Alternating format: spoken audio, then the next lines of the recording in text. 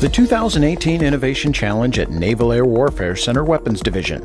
New year, new teams, new ideas. It's important uh, to our command that we invest in this innovation space. The world around us is uh, is accelerating quickly, and we need those new ideas to help us maintain our technical advantages. And I've been impressed that the people around us are, are really stepping up to the challenge. China Lake Team DAPR-DAN, demonstration of automated primer robocasting for digital assembly of ammunition.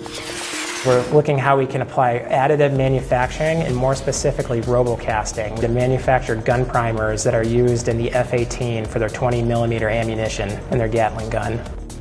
Currently, the um, gun primers that are used use um, a mixture that's very toxic. We're looking at using a much more green uh, nanoparticle reactive formulation, so basically improve the manufacturing process in every way increase the precision. You can control your throughput a lot better so you won't waste as much. And you make it safer by removing people from dangerous operations. And then you make it more repeatable again by being very precise. The mixer behind us was a, is a Resodyn acoustic mixer. It uses acoustic energy and what it allows us to do is it allows us to mix in the syringe and then they just take it and go to their next step of the process.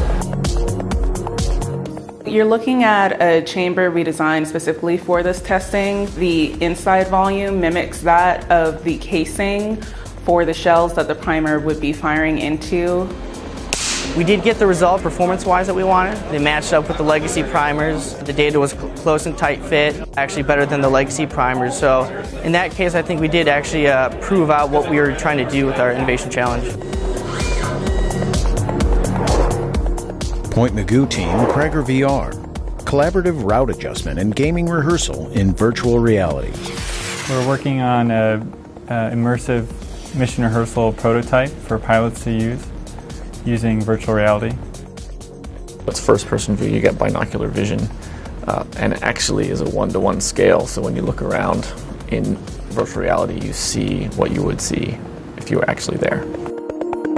The two basic components of our system right now is a mission conductor view for the individual who's overseeing the scenario, and then the pilot view, which would be the view that a front or back seat pilot or NFO would actually be seeing.